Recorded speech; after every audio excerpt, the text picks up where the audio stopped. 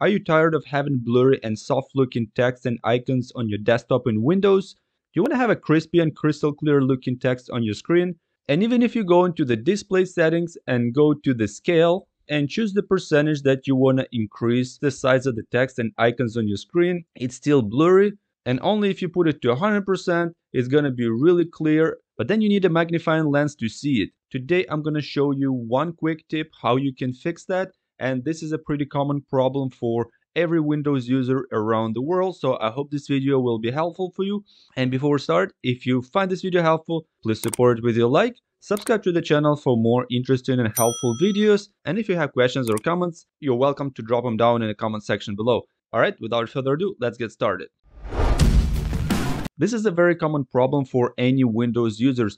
And this problem goes back to the previous century when the resolution of the displays was very low and there was no such high screen resolution like this one. Well, this one is a 2K monitor, 2560 by 1440. Back then there was a VGA 800 by 600 pixels on a 19 or 17 inch display, which had a very low pixel density. But nowadays when we have in Full HD, 2K, 4K or even an 8K display, the pixel density is much much higher. So if you don't use the scale, your screen is gonna be so huge and you're gonna need a magnifying glass to see these little icons and to read the text. So if you don't want to do that, you go to scale and layout and then you increase the size of your windows and text.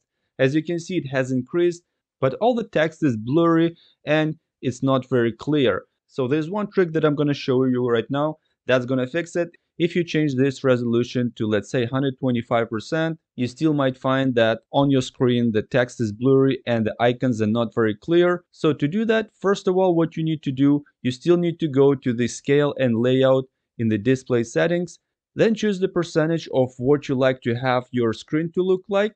Then after that, go ahead and choose this advanced scaling settings. Over here in this field where it says enter custom scale in size between 100 and 500%, so what I'm going to do, I'm just going to put 125. Don't put any numbers that don't divide into 25. So let's say don't put 130, 135. Either put 100, 125, 150, 175, 200, whatever you prefer. And then after that, go ahead and click apply. It will tell you that the custom scale factor won't be applied until you sign out. So we need to go ahead and sign out.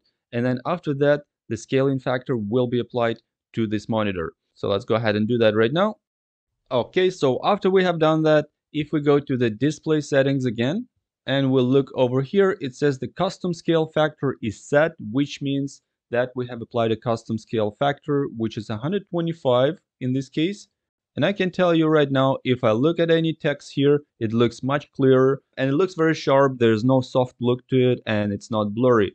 And even all the icons on the display, I can see they're really crisp and sharp yeah, this is it guys. This is how you do it. It's very simple, but if you don't know how to do it, then it might take you a long time to figure it out. Well, now you know how to do it. I hope this video was helpful to you. If you like it, of course, give it a thumbs up. If you're new to the channel, please take a second to subscribe. This will help me a lot to grow my channel and bring you more helpful, interesting videos. And let me know in the comment section below if this video was helpful to you and if you knew about this trick before. I'm very interested to know, but this is it for now. I hope you have a nice day. See you soon. Bye-bye.